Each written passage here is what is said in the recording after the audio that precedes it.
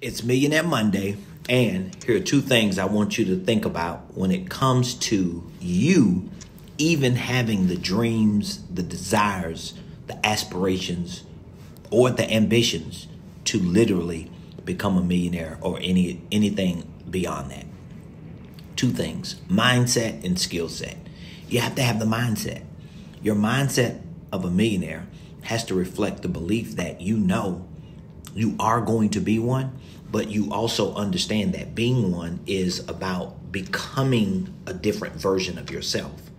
So I can only become naturally what I've become a better version of mentally, emotionally, psychologically, and spiritually. And then skill set. I've got to match this mindset with the tools, with the techniques, and the tactics that I need to live out in my financial life what I've created in my mental, emotional, psychological, and spiritual life.